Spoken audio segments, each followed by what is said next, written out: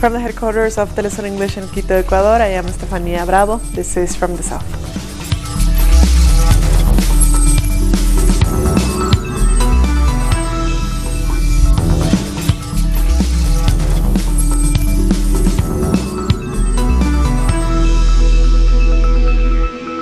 The government of Venezuela has announced that it has fully restored electricity across the country.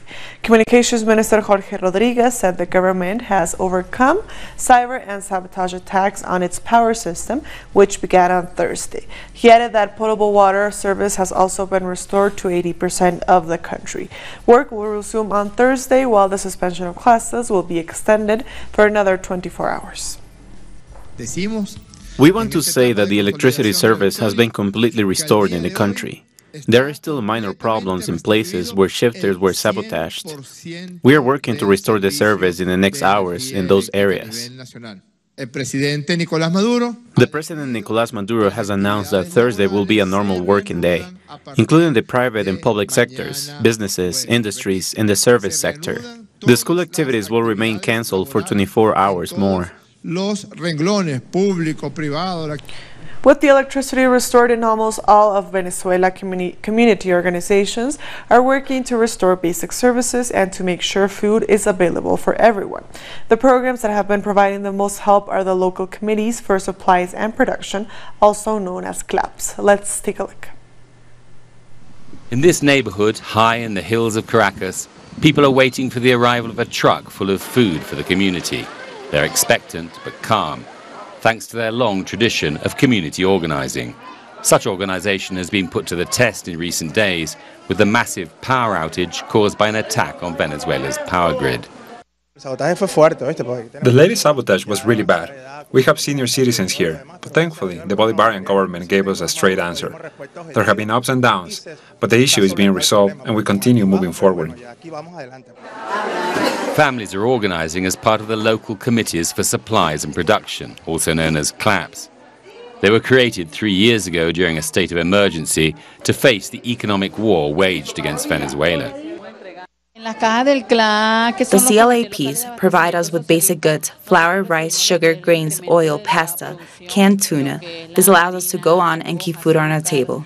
In this warehouse, 35,000 clap boxes arrive daily. From here, they go to 19 of the 24 parishes in Caracas every two weeks. 300,000 families receive their clap box, regardless of whether they support the government or the opposition. The CLAP came together thanks to social organizing, and they were formed to fight the economic war. Thanks to the CLAPs, we have created an efficient distribution system. They help us fight speculation and smuggling. We have managed to move our economy forward by overcoming the economic war. Communities are involved in every part of this process. Estamos asegurando el alimento de mi comunidad. We are guaranteeing food for my community. We are doing fine. Thanks to my commander. People have raised their own consciousness in order to withstand the onset of those who want to see the Bolivarian revolution crumble. The quality of our work has only improved, as has the cooperation between Venezuelans. Following the attack on the country's power grid, the authorities have redoubled efforts to distribute clap boxes. Due to the emergency circumstances, 170,000 boxes will be distributed, of which 95% are financed by the government. A few will want to take this happiness away from us, but they will fail because we are a country of love, of solidarity. We stand together against the war they are desperate for. What they don't know is that we are a conscientious people. Our eyes are open, thanks to Chavez. He opened our eyes. They haven't succeeded yet, and will continue to fail. This dense social tapestry that makes up so much of Venezuelan society remains invisible to the mainstream and corporate media. And Venezuelan citizens continue to show their support for the Bolivarian government. Hundreds of people attended an event in Caracas with concerts and political debates. Despite the attacks and the difficult circumstances, Chavista supporters are keeping their spirits high. Grenada is commemorating the 40th anniversary of its successful unarmed revolution that overthrew the U.S.-backed Union Labor Party. On March 13, 1979, the New Jewel movement, led by Maurice Bishop, staged a nearly bloodless coup. Bishop, a lawyer by profession, was then installed as prime minister of a new, newly established People's Revolutionary Government. In his first speech as PM, Bishop said to the people of Grenada, this revolution is for work, food, decent housing, and health services, and for a bright future for our children and great-grandchildren. Earlier, we were joined by the head of the Grenada Revolution Committee, Ruggles Ferguson. He told us about the lasting impact the revolution has had on all facets of society. The revolution described as a big revolution in a small country imploded in October 1983. Um, came to power, the PRG came to power on March 13, 1979, 40 years ago. And in the four and a half years of revolution, that very short space of time, the uh, revolution has been able to impact significantly in all spheres of society. Um, infrastructure development. In fact, the single largest economic project was undertaken, um, even single largest up to today. That's the construction of the international airport. Uh, we have had um, the Center for Popular Education. That is the literacy program that designed to ensure that each and every single Grenadian, irrespective of age, was able to read and write. You had housing programs. You had the establishment of institutions like the Market National and Importing Board, uh, for farmers, uh, marketing of farmers' produce. You had the development of agro industries for the first time. Grenada started to export um, nectars, mango nectar, tamarind nectar, guava nectar, and a range of agro industrial products. And the revolution, there was an explosion in education. Um, in the first year of the revolution, there were 109 scholarships awarded as opposed to three the previous year. You also had the establishment of the National Insurance Scheme, which survives up to today. So the revolution has impacted um, on uh, almost all facets of Grenadian society. Let's head over to Nigeria, where at least 10 people have died and 40 people have been rescued after a building housing a school collapsed in Lagos Island. Frantic rescue efforts are still underway. Dozens of children are among the trapped. About 100 students were in the three-story building when it came down. The governor of Lagos, who visited the scene, says the school was operating illegally. He blamed the landlord for resisting the government's demolition plan. We can only talk about the number of people that we have rescued, which is in the excess of 40, and then we are still rescuing more. For more on this, we spoke to journalist Deji Badmus in Lagos to find out more about the situation. Well, people have been helping. To be candid, I, I must tell you that the rescue situation is a bit chaotic. Uh, chaotic in the sense that a crowd control at the scene is quite uh, very poor. Uh, too many people living around. That place is actually densely populated. Uh, uh, so uh, most of the rescue is done by the first responders, people around the area who are actually helping the official rescue agencies. But the, the whole process is not well coordinated at all. In any case, uh, people have been brought up, but to be candid, it's um, it's a bit chaotic and not organized. The area is densely populated, quite difficult to move in heavy duty rescue equipment there. It, it, took a lot of time, for instance, to move in one of the heavy duty uh, rescue equipment to, to the site. And um, it's, um, it's, it's, it's really a problem. It, it's a problem, and um, it's it's actually nothing new because that that area that area of the city is prone to incidents like this. As a matter of fact, I would say 90% of the building collapse we've had in this city is actually around that area, and, um, and people are wondering why the authorities has actually not done much about that the, the situation there. The fact is, from from what we're gathering, that building uh, was actually bad. It was marked for demolition Uh, we understand the authorities had actually, that's the building control agency in the city, had marked the building for demolition. Now, why they did not demolish the building is, is what no one knows, and why people were still making use of the building after it had been marked for uh, demolition is, uh, is very difficult to tell. But, but it's actually common. It's common to have um, a, a situation like that where you would have buildings marked for demolition, but the demolition would not be carried out, and then you still have people use the building. So um, at least 10 people are dead after two gunmen opened fire inside a school in Sao Paulo, Brazil. Among them are five students, two school officials, and the two attackers who committed suicide. At least another 17 were injured. The attack reportedly happened during break time at the Professor Raul Brazil State School in Suzano. The motive is still unknown, but this comes two months after far-right President Jair Bolsonaro loosened gun control laws.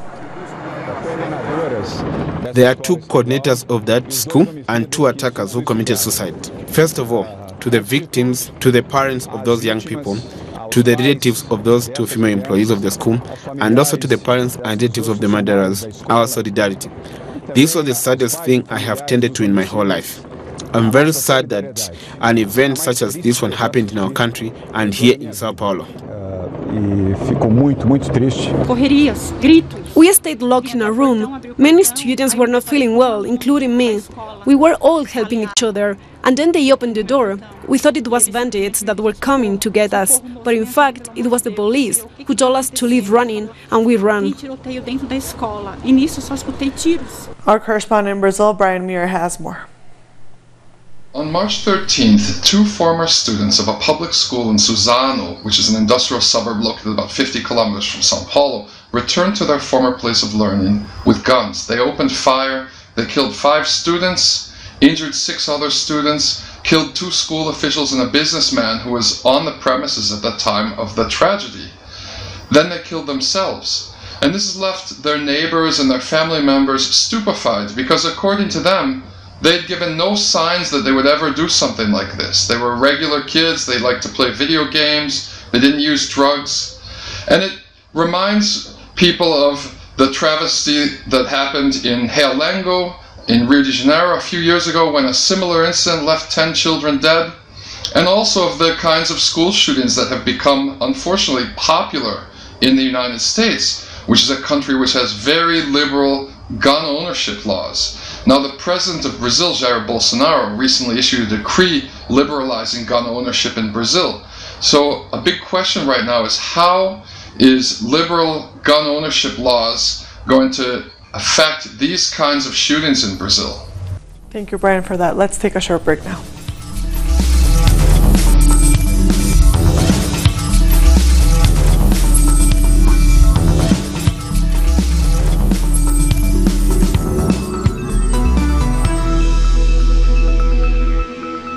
Welcome back. Colombians have rallied in Bogota to demand the peace agreement with the FARC be respected. Demonstrators have rejected President Ivan Duque's willingness to change the agreements. The negotiators of the accord had previously warned the UN that the government could seriously damage the accord. On Sunday, Duque objected to six articles of the statutory law for the Special Jurisdiction for Peace, a key mechanism to judge the crimes of the internal conflict.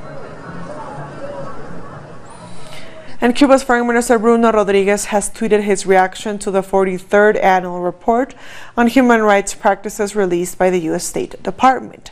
He said that the United States has no moral authority to speak about human rights. He described the U.S. as a global repressor which discriminates against minorities, impoverishes the poor, and violates the rights of immigrants, among other violations. Activists in Brazil have staged a demonstration to demand justice for a murdered councilor, Marielle Franco, and her driver. Two barefoot women wiped the mock blood-stained ground in front of a cage to call for complete transparency in the case. Two former police officers were arrested in connection with the murder. Franco was an outspoken critic of the police and military militias. The objective is to demand the complete transparency of the murder of the Belaria Marielle from the public power. We understand that there are people with a lot of power behind that crime. in addition to executives. We want to know who the intellectual actors of that murder were. 11,000 uh, people have been evacuated from BBVA's Mexico City's offices after a bomb threat. Police sent in a team of bomb experts to the offices of the Spanish bank, located in one of the capital's tallest skyscrapers, the Torre Bancomer. The city's emergency services chief said both emails and phone calls warned of a possible explosive device in the building. BBVA said in a statement it did not believe the threats were real. Labor unions plan to intensify protest action after IMF approved a 4.2 billion, bill, uh, million billion dollar loan to support Ecuador for the next three years. Our correspondent Denise Herrera is in Quito with the details. The agreement arrived under the IMF's extended fund facility, would also provide support for the government's austerity program. Ecuador's finance minister Richard Martinez has described this new agreement as fruitful cooperation. He has assured that it will protect social spending and the well-being of the most vulnerable. This will also restore investors' confidence in the country. It will allow local and international interests to expand their investments, and we're confident this will boost competitiveness and job creation. A post on IMF Director Christine Lagarde's Twitter account stated that the agreement will support the government's effort to shore up its finances, including Ecuador's agenda to modernize the economy and create jobs while countering corruption. The program is expected to pave the way for strong equitable growth, but do social justice organizations share this view? The International Monetary Fund usually does this type of negotiation in secret. The question here is how legitimate is it? Because we have followed the strategies outlined by an international institution while failing to consider Ecuador's own governance structure and constitutional framework. Nearly 10,000 public officials were fired by the Ecuadorian government between February 27th and March 1st. Labor unions and the workers they represent have called this IMF deal a recipe for disaster. They are vowing to intensify protest action until President Moreno shows respect workers' rights. Denise Herrera, Telesur, Ecuador. The first thermal solar plant in Latin America is being built in Chile. The plant allows to produce electricity all day long, unlike other forms of renewable energy, and it consists of a 250 meter tower surrounded by thousands of giant mirrors. The project aims at helping the country achieve its goal of using only sustainable energy by 2040. We're capable of stocking this heat to generate electricity with a turbine as we need it during the day, during the night, or at any time if it's cloudy, or if the solar production is lower for any reason. We'll be back very soon. Stay with us.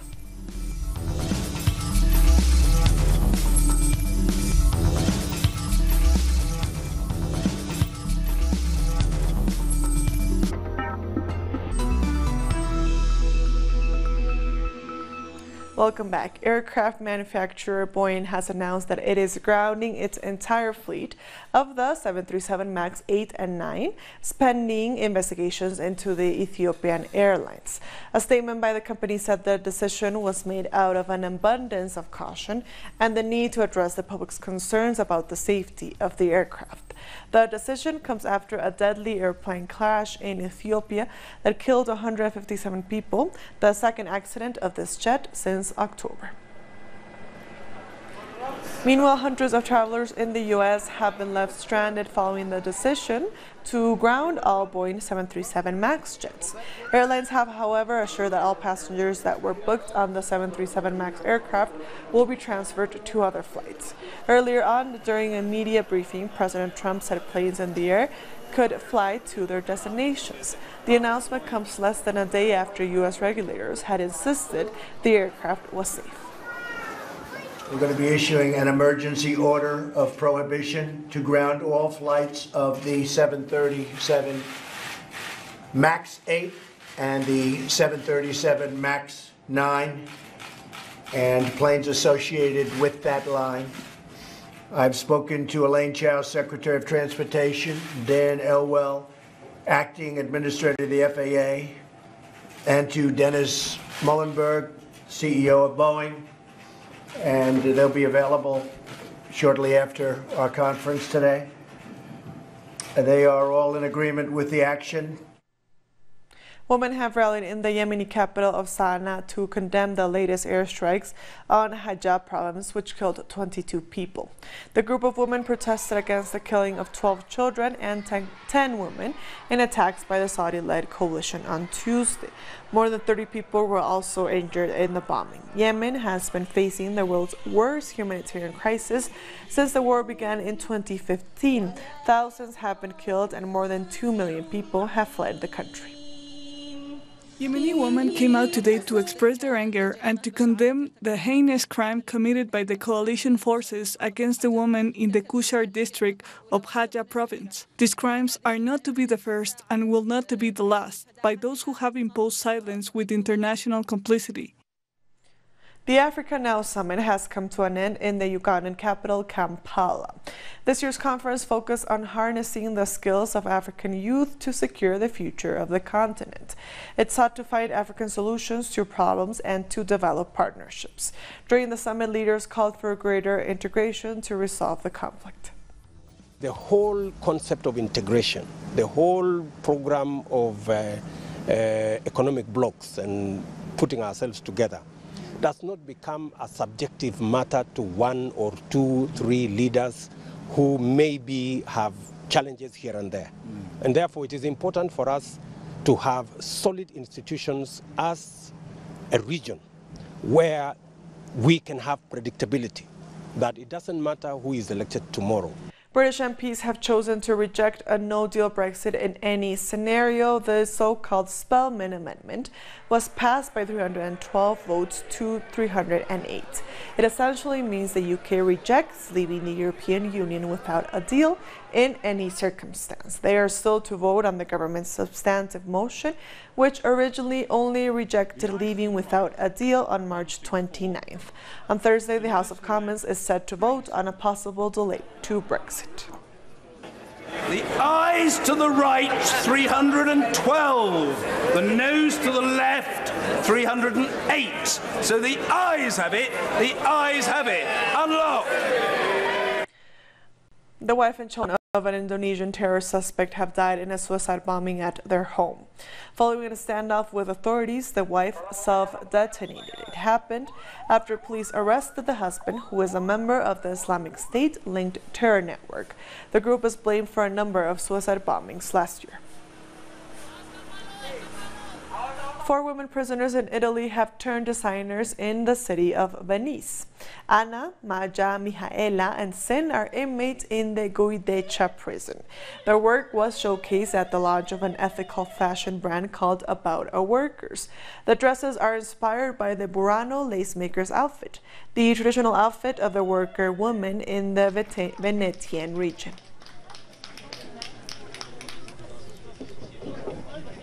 Chile is preparing to submit an application to UNESCO for what could be its first natural heritage site, the Madre de Dios archipelago. Its strong winds and almost constant rain have created a unique landscape on the archipelago, which is made up of, of a uh, up of 54 islands.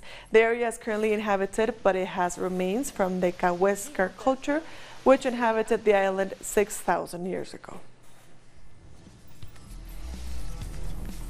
And with that, we've come to the end of this news brief. These and other stories, as always, find them on our website at telesurenglish.net. And also join us on social media. We are on Facebook, on Twitter, and on Instagram. For Telesur English, I am Estefania Bravo. Thank you for watching.